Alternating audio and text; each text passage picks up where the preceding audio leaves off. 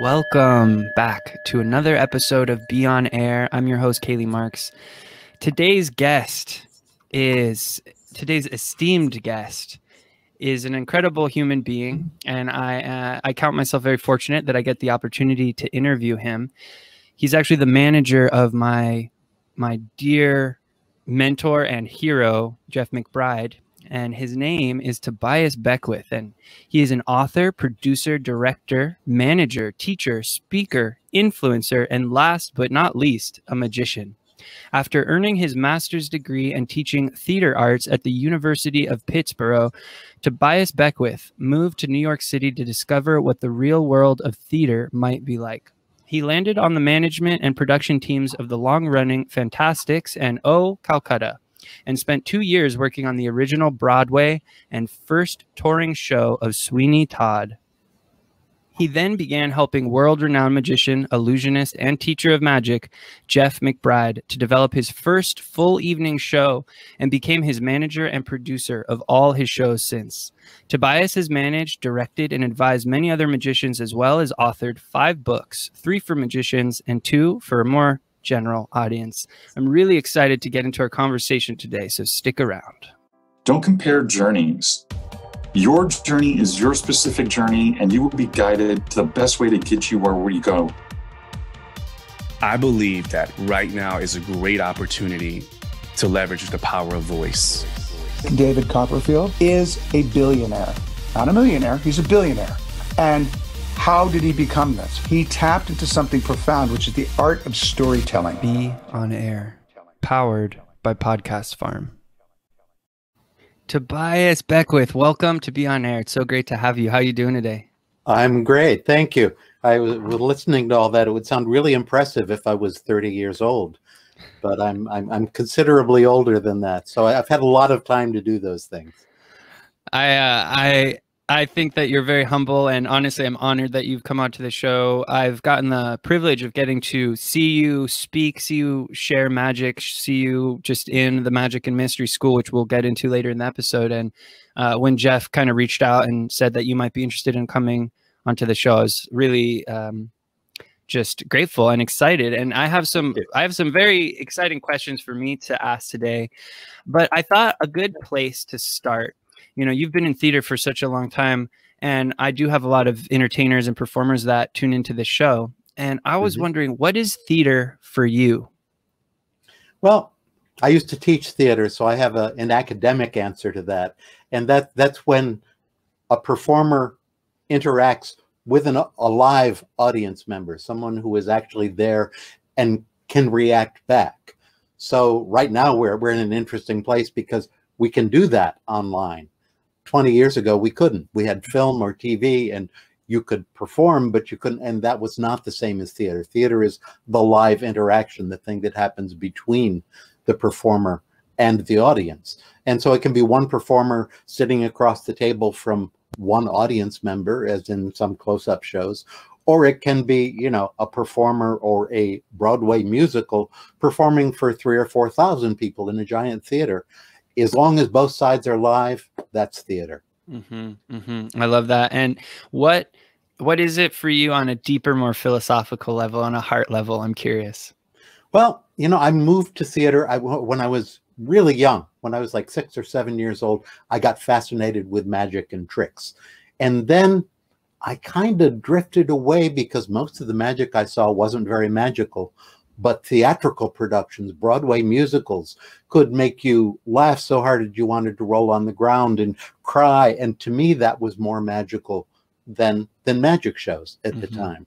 Mm-hmm. Um, of course, I, I grew up in the the 60s and the 70s, so magic was very different then from what it is now. David Copperfield wasn't on the scene yet. Jeff McBride wasn't on the scene yet, and so magic was was the old traditional. Let me show you a, a, trick kid and you know here's a silk and here's in it. And it looked kind of corny and kind of the the tricks were fun the fooling was fun but you know un, unless you actually got to go to the magic castle and see shimada or someone it it wasn't very magical. Mm-hmm. and theater was because to me the the, the real magic is, is what moves you what changes you. Magic is really transformation And theater has a power to do that. Films have a power to do that in a different way, very similar, but but also very different. And uh, to me, that was the real magical experience, and I wasn't getting it from seeing tricks back then. What what when did magic start to deliver that for you when what was the what was the connect and actually you know let's back up Yeah. a little bit what is Sure. when did magic kind of enter your life in a in a in a more as more of an art and less of tricks and foolery and more as a connection to theater Yeah. Well, I I had an idea that it could do that. So my uh, my my career in New York wa- was fantastic for several years, and then Sweeney Todd for several years, and then O Calcutta, which was a horrible show, but taught me more about show business than anything else. And while I was there, I developed computerized systems. Nobody was using computers then. It was uh, Hmm. the the mid '80s, and and I went up and down the the the street on Broadway and talked to every producer and said you should put these in your offices, and they all went, eh, I don't think so. As, uh, we we have our ways that work, and so I got the job at O Calcutta, and the producer there said, go for it, and we put computers in the offices. And my job as a company manager and theater manager, which is what I was doing for him, went from eight hours of work a day, six days a week, down to two hours of day of, of work a week and I had free time in the afternoons. I'd go in and work from 10 to noon, and then I had the afternoon off before the show started. And I thought, well, what can I do with this? I worked with some dance companies, I did some other things. And it came to me that nonprofit was a bad word for for funded theater and for funded dance, and that these performances would be better if they had to make a living Hmm. my, my my my commentary was you know shakespeare would not have written 30 some plays if he didn't have to have a new play every other week for the audience at his theater in order to eat in order to Mhm. make a living and if if if all that money comes into you as grants and this kind of thing i got very frustrated writing grants because we would we'd have a concert that we knew was going to cost us $30000 and we'd write grants for 25000 of it because the real profit was only going to be, you know, the, the real revenues were only going to be 5,000. I said, there's something wrong with this picture. Mhm. I'm spending part of my day working on a terrible show that's making money on Broadway and the other part doing these wonderful esoteric dance things that are losing money Mhm. everywhere. Maybe if they could be more commercial, maybe if we could add some magic into the dance and tell a story with the magic, I'd be happier both with the magic and the dance and we would start to make money and of of course the the choreographers and people that I knew were not that interested in that. They wanted to do their pure choreography and not. So I gathered four or five dancers who were friends and a choreographer, and I met a I, I had a friend who was a magician who had been performing as Rooster, the original Rooster in Annie, um, named Bob Fitch. And Bob came in as our magic advisor. And we worked four or five weeks trying to create this story with music. We had original music. We had, and it was just not quite gelling. And Bob gave me, a, he said, Here, call Jeff McBride. He understands movement in magic in a way that nobody else in the magic world does. And uh, so I went to see Jeff in Atlantic City and went, Yeah, he kind of does. We should talk. And I'm really excited about what he has because he had a great 20 minutes. He was an opening act then.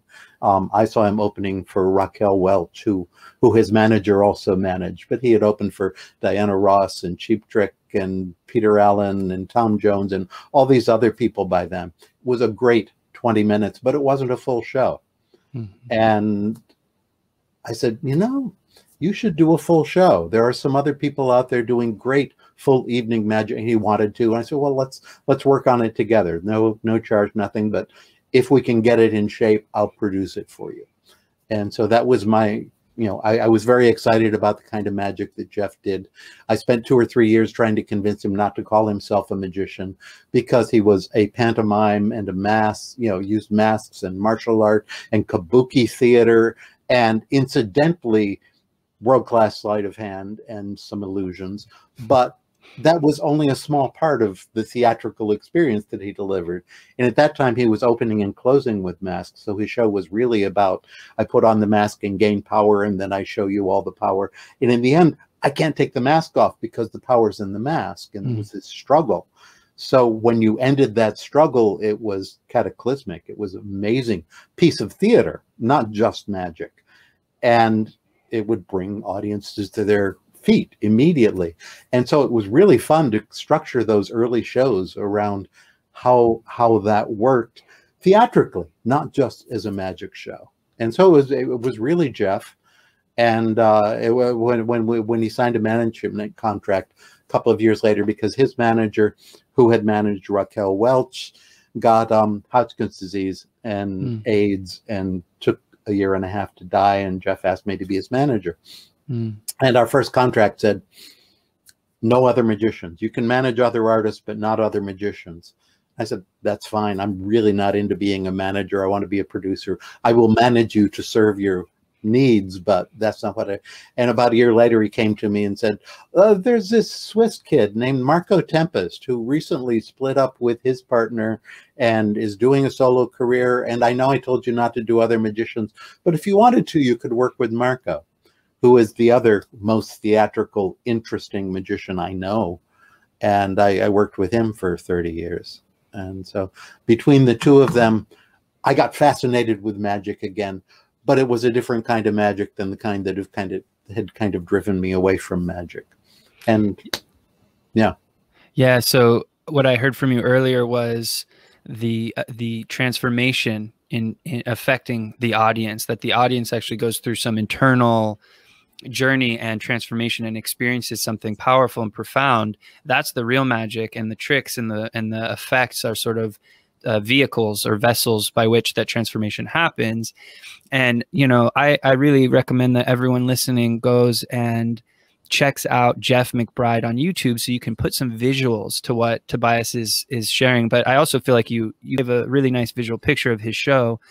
And you know, one question that came up for me is how like how do you go about starting to produce a show? Is there any strategy or framework about how you start to work on a show because I think podcasts, you know, obviously there's true crime, there's audio dramas, but then there's even this interview format. So how would you, for, yeah. especially for the listeners, I'm always trying to think about how can we serve whoever's listening right now? How can a podcaster, a host, kind of look at their own show or bring on a producer and and start to improve the quality and improve the impact that it has? Absolutely. I, I kind of think a podcast, I kind of think any kind of a show I'm sorry, my my equipment's making noise here. We got special sound effects for you. Yes, yes, exactly. Um, it, it, says I'm supposed to do a podcast. Oh, um, it's a little late. And, uh, but but I, I always come back to I, I, I got my, my MFA was as a director from from University of Pittsburgh, mm-hmm. and as part of that study, one of the most effective books I, I got to read was by Peter Brook. It's called The Empty Space and Peter Brook was a famous director, one of the founders of the, the Royal Shakespeare Company in London and those things.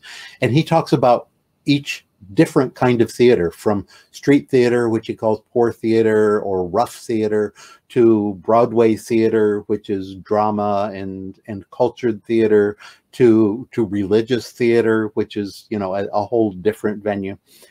And he says it's important to know what kind of theater you're doing but what it really comes down to is what's this for? What do I want from this? What do I want the effect to be? Do I want to change somebody's politics? Do I just want to entertain people at the end of, you know, a hard work day and give them something to laugh and let them feel lighter? Or do I want to reinforce this, you know, dogma religion like um they, they used to do I'm, I'm forgetting the name of them uh, passion plays which were these like they set up eight eight stages around the town square outside the cathedral and reenact the whole passion. And the reason was for the same reason people go to go to church every week to reinforce their belief system to to bring them together in a community and reinforce. So so there are different reasons for doing any kind of theater any kind of show and if you can answer the question at the beginning, what do I want from this? What is this for? That will help you create something that is useful, that, that's exciting to your audiences and to you and uh, over the long haul. Uh, an example in podcasts, I, I watched Jason Calacanis, who is This Week in Startups, because I'm fascinated by the whole startup phenomenon in Silicon Valley. Mhm. The, these companies that go from zero to a billion dollars in 10 years and the people that drive them and their drive. And his podcast is to serve that community. Hmm. It, it was originally to serve the founders. Now it's to serve founders and angel investors. And he's very clear about that. And he has developed, if, if you watch his podcast, it's exactly what you would expect. It's the top people in that industry Mhm. in a setting that is more sophisticated than it used to be. It used to look like he was, you know, in his in his, you know, personal office with, with no set and no nothing. And now it's developed into a fully produced with with an appropriate set with, you know, that kind of thing. But he's been clear from the beginning about what that's for. And I think that's the thing. It's, it's certainly what keeps me tuning in week after week. I know what I'm going to get. I know what it's for, and uh, that that that that's the big key for me. Yeah, so I heard, um, what do I want from this, and what is it for? And then I would also add like, who is it for, right? And, Absolutely. And so maybe we could even just use my show as a guinea pig for a second. Sure. Um, so you, you know, it's I have. I, I'm just going to open it up. Would you give some live feedback as a producer? Would you be willing to grace me with some live pr- production feedback about how this could improve? And that might be cool for the audience to hear and listen to. And you have full permission as direct feedback as you want. I I won't have any hurt feelings here. no worries. I I think I think we can do that in a slightly different way than you're Yeah. suggesting. Let me ask you some questions. Okay. Who is your audience? Who's your market that you're really going after that you want to serve with this? Yeah, yeah, great question. Well, so the the way that I think about it is conscious creators and purposeful entrepreneurs, broadly speaking. There's a lot of coaches, there's a lot of speakers and authors listening, and um, yeah, there, I mean, there's definitely other people listening. So if I didn't mention a, a category that fits you, dear listener, please reach out and tell me how you identify yourself. But I would say, broadly speaking, that's Yeah. that fits almost everyone. Yeah. So so that is a very that, that's a definite community. And it's it's it is creators. I assume you mean all kinds of creators from Course creators, from artists, knitters musicians. to performers to to people creating podcasts and and and that kind of thing. Um, but they are by definition creative. That that that's who who is going to come watch this, who who is going to be served by it. Mhm. Um, so obviously you're going to have people like that as guests or people or people who can help that as your guests. Um, people that can teach those people to to either either maximize their income or maximize their creativity or build a better organization or you know what whatever that takes. Um, and and over the years I've I've come to see that because I started out as as actor, director, choreographer, designer, all the creative things except business. And I had a scorn for business. Business was like what the producers do, the people who aren't creative. And moving to New York and becoming a company manager and a producer, I very soon realized that every business decision in a creative business is also a creative decision. Every creative decision is a business decision. If if I cut the chorus by three people, that saves me a certain amount of money every week, and therefore I can change the ticket price, and be, therefore I can serve a different audience. And these are creative choices. What's it all for? Mhm. And it, it all comes back to that. So, um, where where where are you? How do people find out about your podcast? Would Yeah. another question. Yeah, it's a good question. Um, many places. So I have a lot of touch points. Uh, Facebook group. I have the, the actual podcast. So if anyone's subscribed, then they get it onto their phone. I'm on all podcast platforms. Uh, YouTube, Clubhouse. I go into Clubhouse a lot and tell people about it. Instagram. So social networking. You know, it's it, it gets Mhm. around that way. Yeah, and um, so so it, it seems like most people find out about it because they are online. Yes. Yeah. So it is, it, the show is Mhm. particularly for these conscious creators and purposeful entrepreneurs who are wanting to be online and to broadcast and amplify their message in their business. Yeah, well, that's great. Um, are there other ways you could reach them?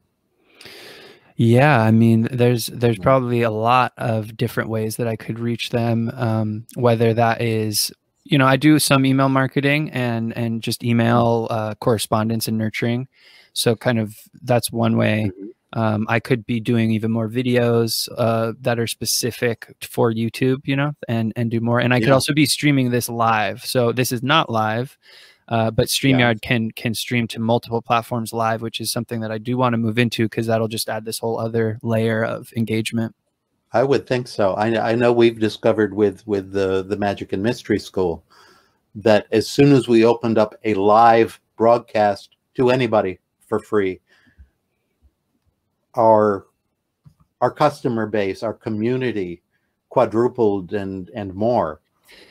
Almost Can we talk about that for a second? mean, yeah, let's talk about that Sure. because yeah. So just for the listeners, um, so the Magic and Mystery School is probably the world's most prestigious and foremost magic and the and the art of astonishment and magic school that exists. And for for over a decade, they've been live streaming, or they for over a decade they have been producing these incredible shows, and it has become this live streaming like think think of an actual TV show that you would see. There's seg- there's pre-recorded segments, there's live segments. There's um, David Copperfield was on there recently, so there is so much going on there. Could you and when COVID hit, when the lockdown hit, you opened your doors to the whole magic community, and it it provided this. You had world class doctor magicians on there giving very up to date health advice. You had just so much inspiration and creativity that was soothing for the community at a time that was very traumatic and stressful. So, you know, can you talk a little bit about that production that you do there because that is a huge operation that you guys are managing. Absolutely. It um it happened. I mean, certainly the the the kick in the butt for it was the pandemic and the fact that people can't go out and perform. And we said, you know, these are our people. And we had been doing the show for eight or not well, we just finished 500, so we, we do it once a week. So we had been doing it for maybe nine years before the pandemic hit, but it was for members only. And uh, to become a member, you had to pay, I think, $25 a year or 50 or 100, depending on what level you wanted to support the school on. And we would get 25 or 30 people a week tuning into the live show, and then maybe a thousand after the fact watching it, you know, via um, the via the the posting of of the show because we always post them after the fact. But it was a self-selected community Mhm. and we thought you know let's everybody's hurting everybody in the world of magic it doesn't really cost us any different to put it on for 30 or 40 people than it would to put it on for a thousand people. And we have had a thousand once or twice who who watched it since then. And uh and these people need it. Not only that would it, it would be a good thing because it would draw people in who we want to be in our community. And i had been trying to uh, Larry Hass is our is the dean of the school, another magician, educator, wonderful human being. And I had been trying to get Jeff and Larry to start to put some classes on the Zoom platform, which is what we, we broadcast on now. And uh, they had kind of resisted because they really like doing the live in-person interactive in Jeff's house. But Jeff's house, you can't bring more than 20 people in Mhm. and they have to travel to Las Vegas. And if they're going to be here for three days and pay the cost of coming to Vegas, and the, we we had to charge more. Mhm. So we used to charge seven hundred basically for a three day class, and you had to get yourself here and pay for it and all of that. So so it was a fifteen hundred two thousand dollar investment for a student. Mhm. Well, that was fine when we could only handle twenty a class and did, did one class. Essentially, one class a month over the course of a year, but it severely limited the scope of who we could reach. We Mhm. could only reach people who could afford that or wanted it so bad that they would save their money for, you know, a, a period of time in order to be able to, you know, come and join us. Mhm. And all of a sudden, we could teach three different classes every week. We could do classes that were only six hours long, that were two hours and two hours and two hours. And we didn't have to travel, they didn't have to travel. So we could charge $150 for that kind of a class instead of 700 that we used to Mhm.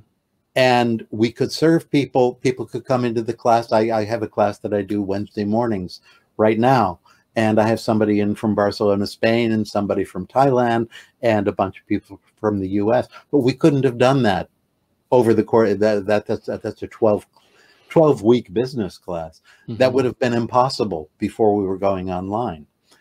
And we discovered very quickly because Jeff Jeff and Larry were supposed to go to the United Kingdom to do a master class and a performance and a seminar on uh, shaman to showman, the, the relationship of medicine and magic through history. And COVID hit. It was, we, we thought, well, we could probably still get them there, but they're probably not going to be allowed to come home mm. without quarantine, quarantining. So we called and we said, we have to cancel this. But if you want, we could try and do it online. And both of them, because they're, they're both a little less technically enthusiastic than I am, maybe. Um, mm-hmm. We're going, well, I don't know if we can do it. And, and well, we're going to do it. They, everybody said, yes, we don't want to cancel. We'll do it online. And they were so successful and so much fun that we immediately developed a whole online curriculum, which we're doing now. And we reached four or five times as many students last year as we did any year before that.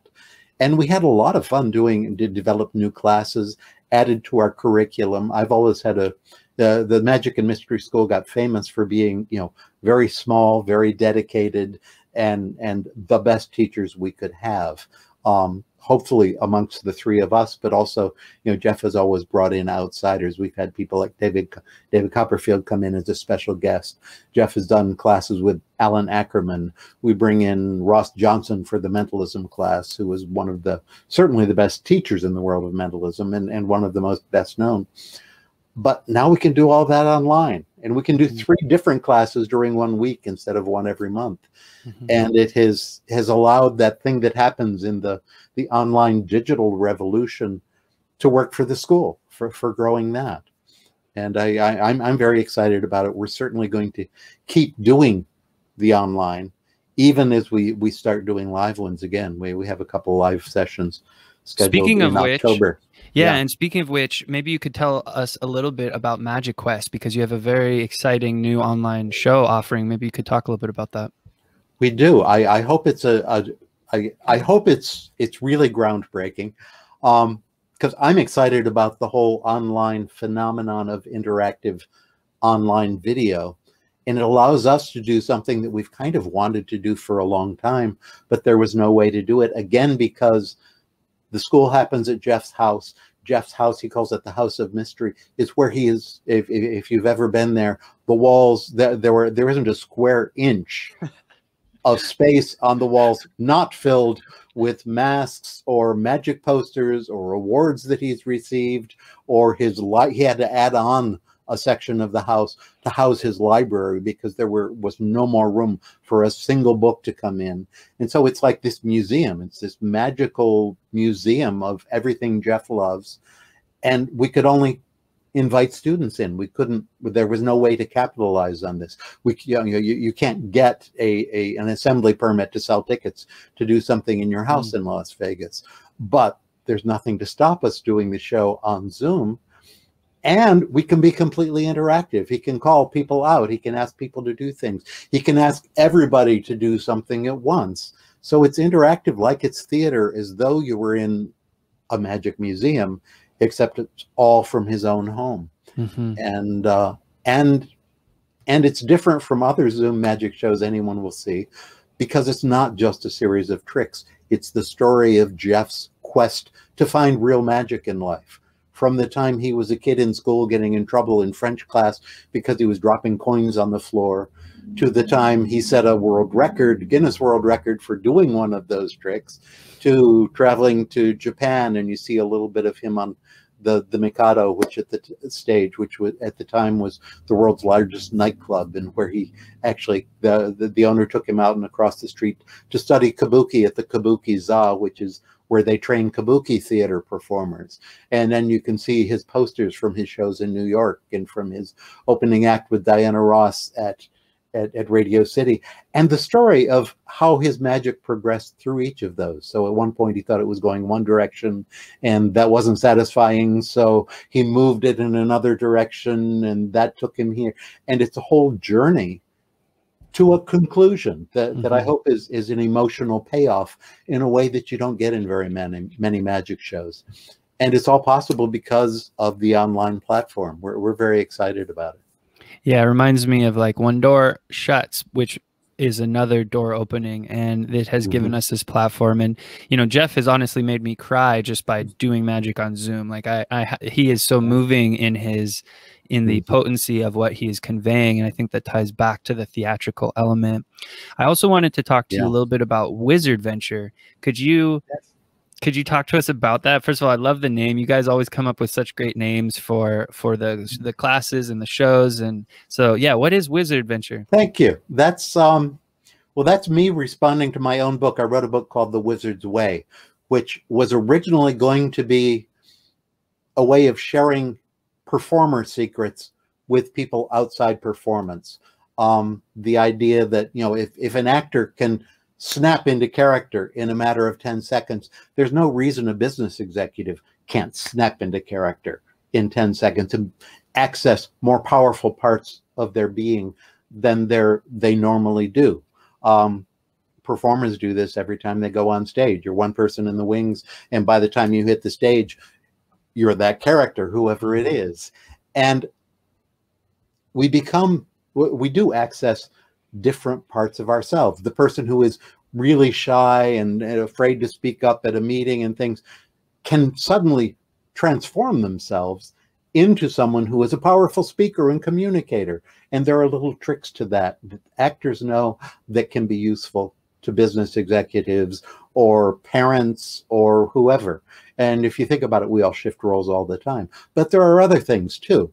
And um, what it came down to eventually was I shifted from just, per, you know, a magicians learn to direct your attention. Well, politicians know that, but and marketers know it. Yeah. But it's really important to know that the reality people experience is the reality that we call their attention to because people can only really pay attention to one or two things at a time. And so you know when, when when we stage a war in iraq you don't pay attention to the fact that all the vice president's buddies are getting rich by selling arms to the government as a result of that war. Mhm. and uh, because the news and everything we can keep you fix fixated on the big picture the thing we want you to look at there there was a movie years ago called wag the dog Mhm. which was a great example of this in politics. But these are all useful techniques if you want to change the world which a lot of businesses do. If, if you're not in business to change the world if you're only in business to make money i'm not interested in working with you. So but the wizard venture is there to teach you ways to change the world using the methods not only of performers but but i got interested in real world changers people um my my my model was merlin the magician Mhm. in who, who is probably mythic but there was a very clear story of what merlin did Mhm. and it wasn't being a magician it was noticing what's happening in the world he wanted to unite unite the worlds of, of roman britain with the pictish the original you know people there. And so he found a king who was roman and someone who could be his queen that he was passionate about who was from the other side the pictish and got them together. And they had a baby who became king arthur. And then he saw that arthur was going to become just like his father if he couldn't get him out of the court and educate him differently. And eventually he created king arthur and that whole myth by working behind the scenes like a producer.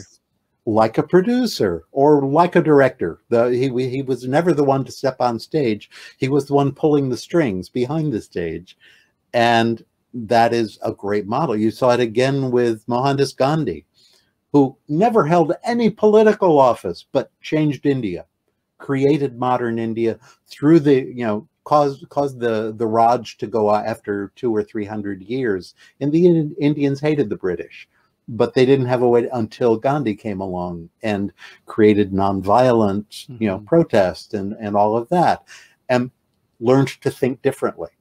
That it, it comes all the way through Einstein and Richard Feynman and down to Steve Jobs, who actually, you know, my, my favorite commercial of all time is that "Here's to the Crazy Ones" commercial with with Einstein and Martin Luther King and all these, and uh, So the idea is to teach people to think like those world changers, Mhm. to think outside the box, to train themselves, to, to build their own meta skills is one of the things. Memory learning, speed reading, persuasion. Um, my, my favorite class to teach is, is uh, power presentation. And it's exactly what we were talking about. Kind of all of this comes circle with the podcast. What's it for? If, if I want to teach you to be a better speaker, what do you want to get out of this speech? Most people don't ever define that. How do I want to persuade my audience to be here at one point and then here and here, and I get them to this point? And if I can get them to this point, they'll go get vaccinated. Or if I, you know, Mhm. and Mhm. whatever it is, if I know what that's for, then I know how to build that presentation. Mhm. Mhm. And that process does interesting things like get people over their stage fright. Because if I'm if I'm doing a talk and I'm only worried about you looking at me, do I look okay? What do you think? I get stage fright. If I worry about you're not listening, you're I, I need to get you to lean in. I need you to do all the things we teach in magic school for magicians. I I need you to clap at this point. I need you to go for I need you to listen to this story, which is going to change your point of view and give it a an emotional punch, which can be a magic trick. But you know, it, it all weaves together in interesting ways. So that's that's basically what the Wizard Venture is about. It, it's saying, let's take what we know as performers and magicians and things that's kind of esoteric knowledge and get it out there to a community of business people or community organizers or whatever it is to give them the new tools to handle change. It's really all about change and transformation. Mm, the new tools to handle change. And I'd love to go down the rabbit hole a little bit here. Um, so, abracadabra and the power of voice. I'm so I'm Mm. so invested and inspired by the power of voice, and that's why I believe in podcasting so much. And Mm. you know, we're talking about change, agents of change, and Gandhi and and Merlin, and how you how away with our words, and then there, you know, there's um, a fantastic magician, uh, Kenton, right? And uh, he Yeah. has wonder words and the power of Yeah. words. And I just want to hear from Yeah. you more about the power of voice and words for those Mhm. listening, because everything Tobias has been sharing, uh, cues and and and kind of helping direct attention is all extremely applicable to being a talk show host. It's every everything that he's talking about is so applicable to being a podcast host and helping guide the direction of the conversation. So yeah, could you talk to us about words and the power that they hold? Absolutely. Words and just the the sound of your voice because we we can talk with a light voice and be one person or we can draw our voice down and command an audience. And it's all in the tone. It's um this is something if if you ever take uh training as a hypnotist, you learn about the power of voice. You also learn about the voice does direct the attention, it tells the story, but it's a tool for trance. And the hypnotist knows that if they speak in a certain cadence and they drop at a certain point, they're going to change your state. What most people don't understand is that we're in trance most of the time. And if you watch a TV show, you're in trance. You go into that world. And we, any storyteller has a chance to take you into their world. I read a book once about um, hypnotic marketing and basically the you, you, can save reading the book. It says if you start to tell a story if you take people into another world they go into trance and they become suggestible. Mm-hmm. suggestible means that i say you know your left hand's getting lighter than your right hand and your left hand will eventually you know lift up and lift up. And before you know it it's it, it feels lighter than the right hand. Um that's suggestibility. It's something great speakers really understand. Getting people to respond in um in unison in a rhythmic unison. I, I i have a theory that um i'm a big fan of barack obama but i think the reason he that pushed him over the top when he was originally campaigning was getting his audiences in these big stadiums stadiums to chant together, yes, we can, yes, mm-hmm. we can. And that puts you in trance. That makes you part of an audience, that makes you part of a group that you want to be part of a group and gives you an emotional lift. It changes your state. Tony Robbins talks a lot about changing your state and how easy it is. And it, it's, it's kind of a parallel method, message to what I'm doing there. But if you learn to control your voice, if you actually well, pitch, rhythm, volume, and the words you use, you can change someone's state just just as they listen to you.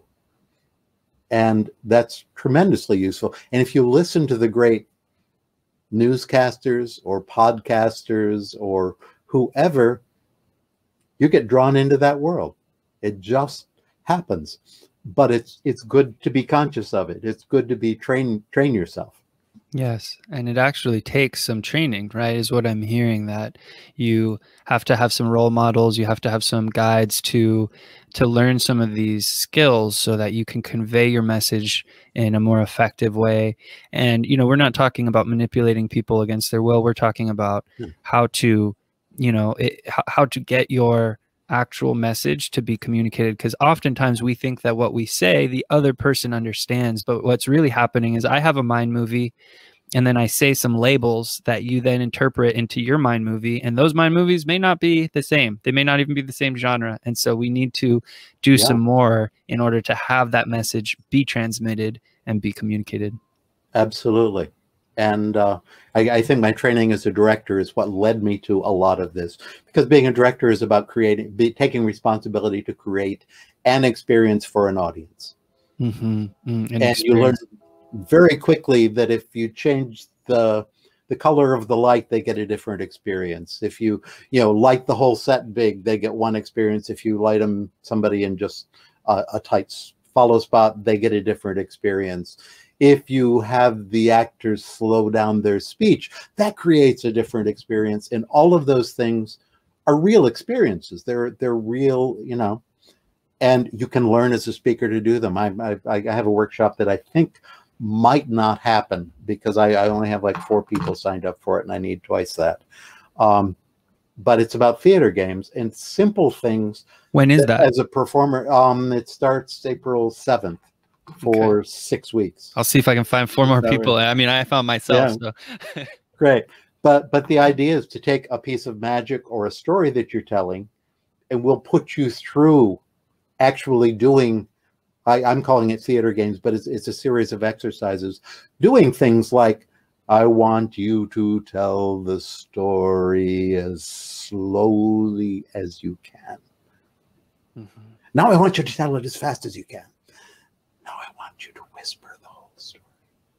And each time you do it, you discover things about it. You you take control of your own ability to express that thing in a different way.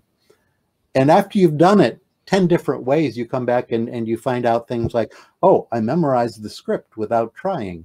Mm-hmm. I've cut all the extraneous movements because when I did it really fast, I didn't have time to do anything but the essentials. Or when I did it really slow, it felt ridiculous to do this thing that I didn't have to do. Or when I whispered it, suddenly I discovered that there are parts that are better for the audience as is something that I'm offering in confidence. This is a secret, you know, or that I shout at them. And you really only discover those things in the whole mind body. You can read about it, you can go, oh, yeah, I get that. But you don't really discover it till you do it. And so that's one of the secrets and one of the things we do in the wizard workshops for, for the wizard venture. It's so. just so the listeners know that that we are actually having an interview with a real wizard here. So this is this is this is if if you've done any public speaking if you've done any performance i think that this is you you will understand the magic and what he's sharing here and how or if you've struggled with that then you'll really understand the value in, in what tobias is sharing. So please go check out wizardventure.com check out tobiasbeckwith.com and i was wondering if you could share a little mm-hmm. bit you know we have about another 20 minutes or so on this interview. I i would sure. love it if you could share about the you know you said the our role is to create an experience for the audience. Can you talk about the experience of astonishment? yes. Um, I was taught about this very experience of astonishment a little bit by by um, Paul. What's his last? Paul Harris. Harris. Paul Harris, who is famous because he was probably by far the top close-up magician in Las Vegas for a while, and made most of his money doing corporate walk-around. You know, there there there are hundred conventions in in Las Vegas at any given moment, and he would get hired every night at a cocktail party or after dinner to make the rounds and do magic. Mhm. And one night he went home and his house burned down with all his magic props in it. And he never got another house. And he stopped doing magic. And we had Paul as a special guest at something, I think it was World Magics, which was a festival Jeff and I produced. And I picked him up at the airport in New York and drove him to Buffalo, which is where the thing was. So I got six hours in the car with him. And I had read all Paul's books at that point and learned a lot of his magic. And so I was just so excited. I was, you know, the the fanboy. And I said, "But I need to know why you stopped performing." And his answer was, "Well, I got really good at it. I got so good at it that I could hurt people's heads because there was a moment when what happened caused their entire worldview, their paradigm to shatter. He said one day I, I, I did it in a room with, and he like ran to the wall and started banging his head against the wall. And went, wait, wait, wait, wait. He said, I don't know what to do with that moment of astonishment. Hmm.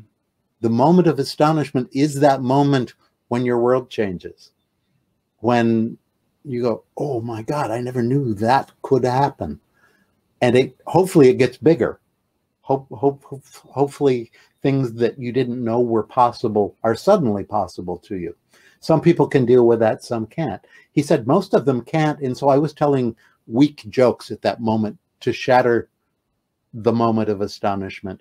And he said, I kind of don't want to perform again until I figured out what to do with that moment of astonishment. And so I, I think it's a tremendously important thing for magicians, for performing magicians, to figure that out. That's why I keep going back to what's this for? Hmm. What's your purpose in doing this? And I, we, we talk about it when we structure a show. We, we do, you know, Jeff's Jeff's show used to open with him doing a spooky mask piece, producing masks, going through eight different characters in the course of two minutes.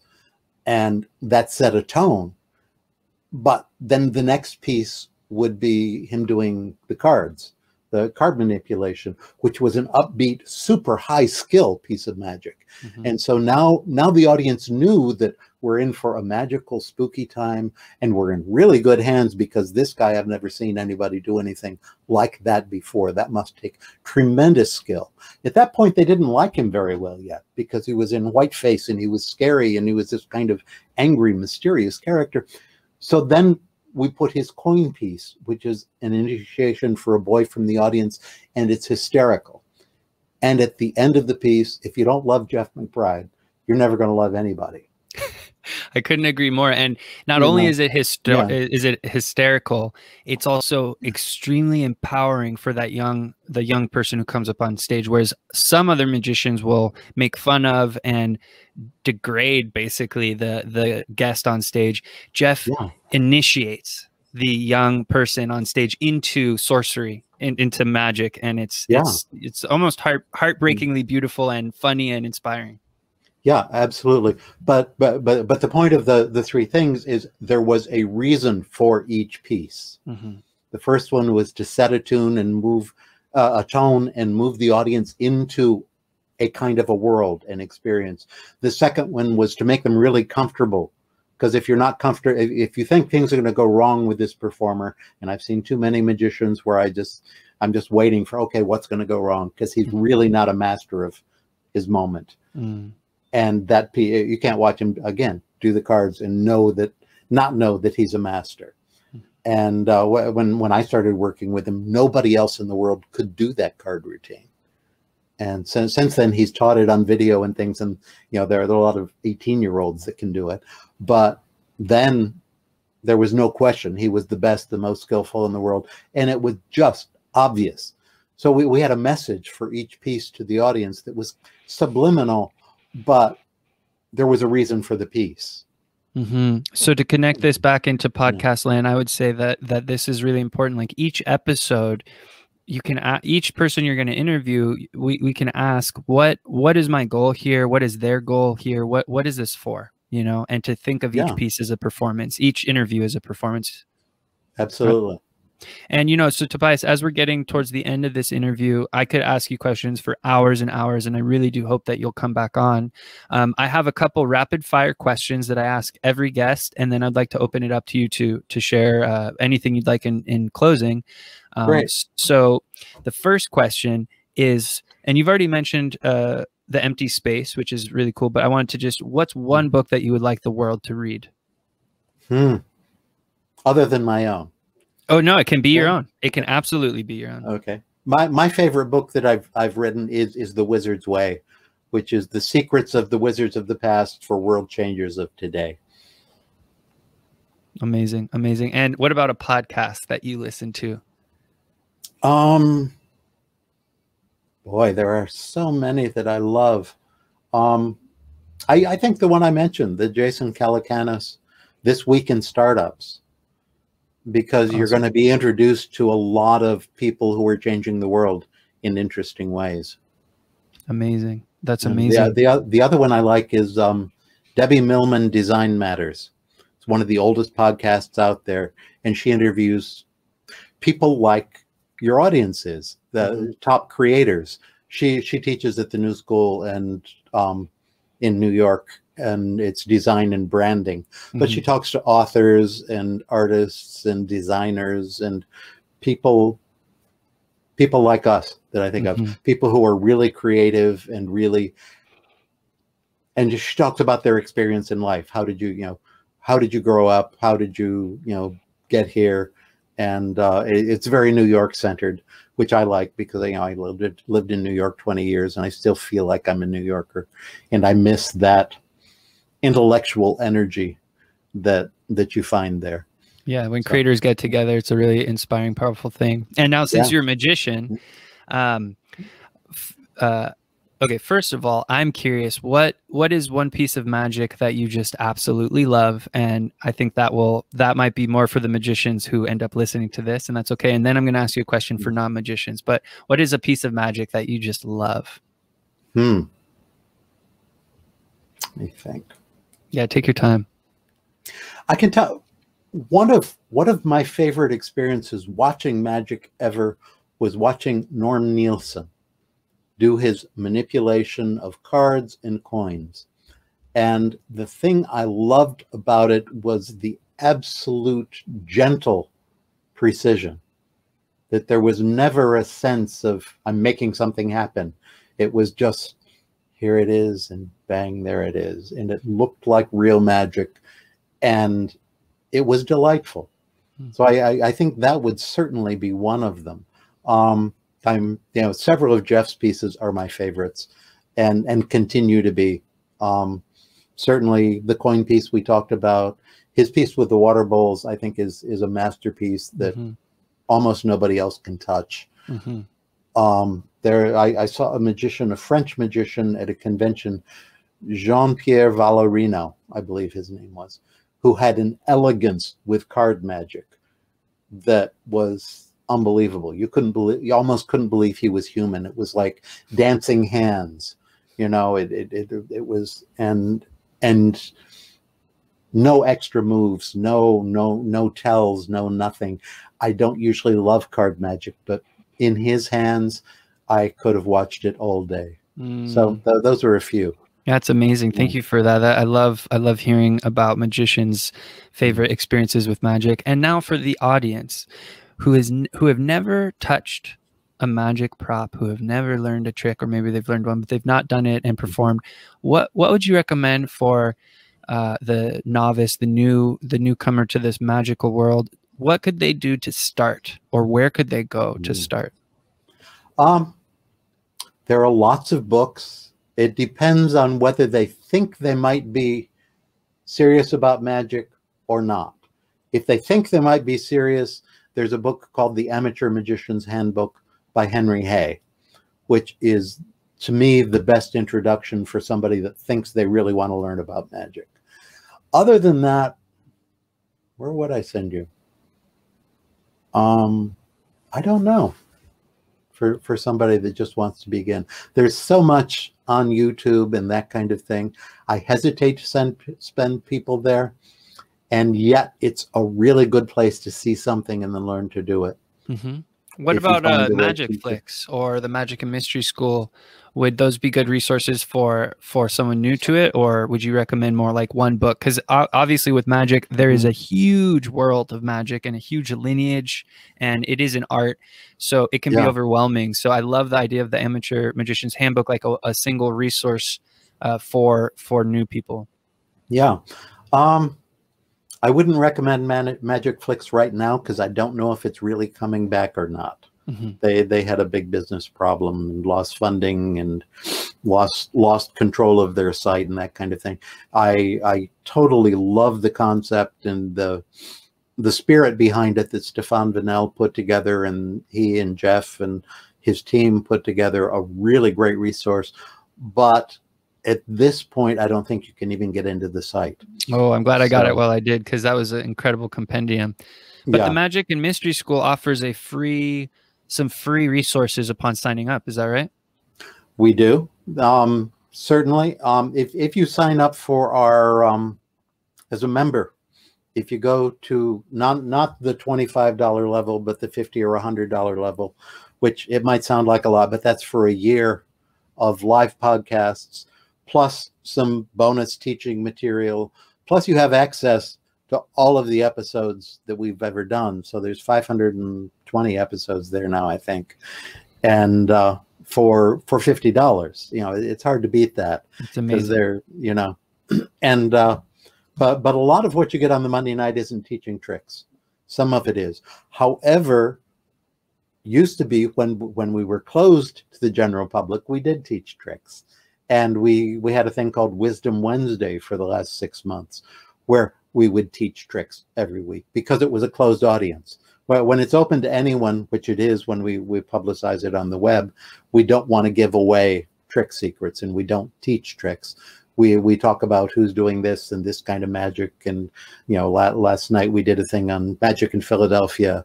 Next week jeff is doing one um, he's interviewing piff the magic dragon um, who is moving to a bigger theater at the Flamingo and has a lot to talk about about that, and ah. who has an interesting approach to magic. Mm-hmm. You know, it, it's not just tricks; it's an interesting character with interesting story, with you know, with his little Mister Piffle's dog and all these things. And I, I just love it. But it's yeah. that that's what that does. It, it's a great introduction to the world of magic because we always show tricks, we always show magic, we always talk about or talk with great magicians. But uh, it's a community. And, yeah. Which I think is important for for new magicians to be around. Uh, Jeff talked to me about this when I first met him. Oftentimes, new magicians will work at a peer level, and so it's very hard to get better. And so when when magicians are around people who are better than them they can be brought up. And so it's so important to have sangha as we say in the yoga community or like a, a, yeah. a community of like-minded people. So yeah. tobias as we're wrapping up here i want to open this space up to you to share anything that's on your heart or mind for our listeners. Um okay. I think the the great message of magic and the thing that has drawn me to it over the years is that the world is a bigger place than you imagine it is. And I, I love, there's a Mar Marianne Williamson quote that people aren't afraid that they don't have any power. Your greatest fear is that you have ever greater power than you can imagine. And therefore, you're responsible to do something with that. And to me, that's the great, joyful message of the magician is guess what? You don't have to suffer through life. You can create the life that you dream about. You can create the world that you dream about. And magicians are here to point the way to that. My, my new, business, new business, The Wizard Venture, is here to help you train yourself to break out of your box and become more powerful because it's so rewarding and it feels so good to do that. I love that message. Thank you so much for sharing that with the audience. I am mystified and blown away that uh, I get to interview folks like you that I've connected. Ever since I connected with Jeff, my life has only become more magical, hundred percent more magical every month, more and more and more. And so I'm I'm really grateful to mm. connect with you. I'm really excited about Magic Quest. Magic Quest is is coming up, and I I cannot yes. wait to experience it. And so for the listeners who want to connect with Tobias, please head over to wizardventure.com. One word, wizardventure.com. Also tobiasbeckwith.com and um, I, I would love it if you'd come back on. I feel like we could talk about a million things for for many hours. So this was just the the first phase. Fantastic. Thanks so much kaylee. Yeah it was wonderful having you and have a yeah. magical rest of your week. You too. Take care. You too. Be well. Thanks so much for tuning in to this episode of Be On Air. I hope you enjoyed it and are now one step closer to turning on your mic and broadcasting your message to the world. Are you ready to start your own podcast and amplify your brand? Or are you struggling to get your show in front of engaged audiences? I can help you on your broadcasting journey. Get in touch with me and apply for a strategy session if you want to discuss your podcast idea. You can reach me at www.podcast farm.com. I'm on all the social media. Until next time, my friends, I'm Kaylee Marks. Thanks for tuning in to Be On Air.